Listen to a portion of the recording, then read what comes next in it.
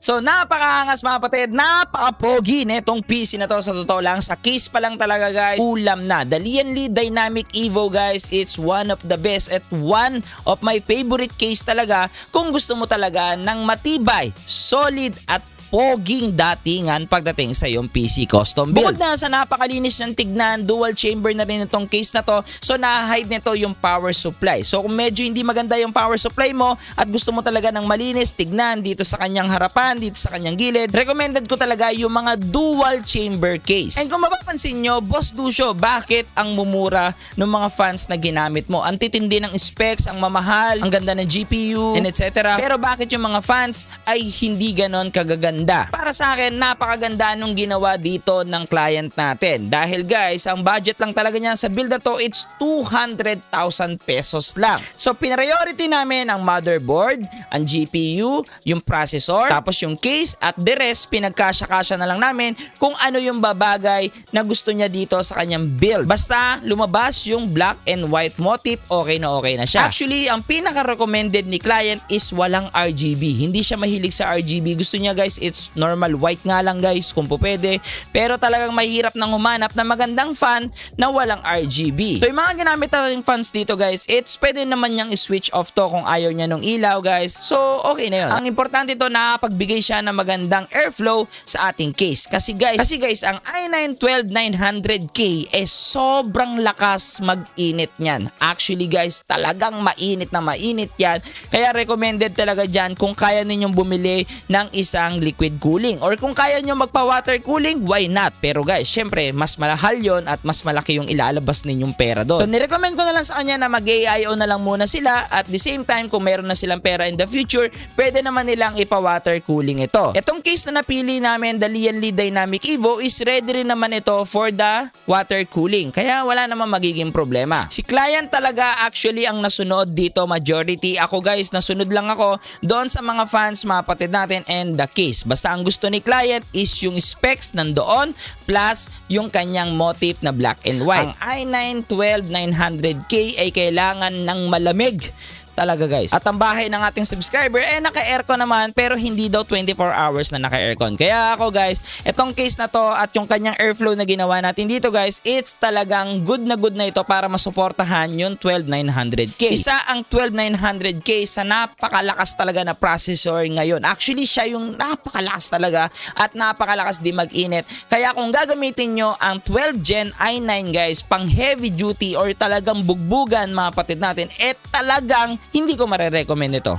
Ito guys, ang recommended talaga sa kanya is magandang water cooling or magandang liquid cooling. Pero overall mga patid, natanong naman natin dito si client. Again guys, suportahan natin yung kanilang page.